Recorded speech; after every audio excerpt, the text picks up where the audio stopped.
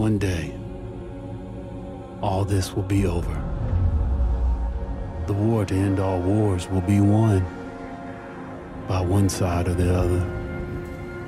The guns will rust, grass will grow, and there'll be nothing left of any of this.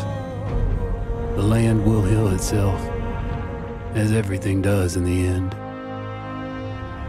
We'll be long gone by then, but maybe not forgotten.